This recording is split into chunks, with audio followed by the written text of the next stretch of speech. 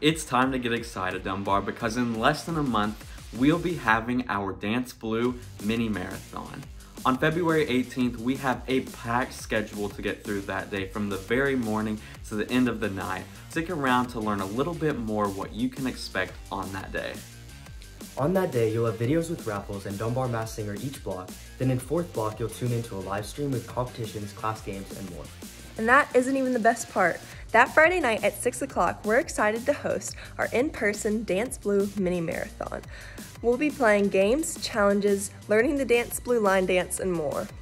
At 11 o'clock, we will reveal our final total, and if we reach our goal of $15,000, one lucky staff member will have a kiss of their lifetime. A kiss with Waffles the pig.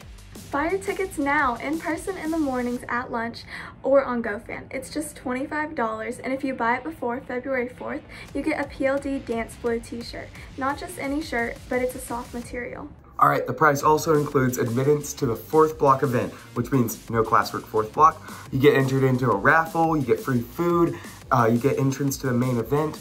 You even get a free scoop of frozen yogurt at Orange Leaf if you wear your shirt that weekend. And you get more. If all of that wasn't enticing enough, then here is the best part.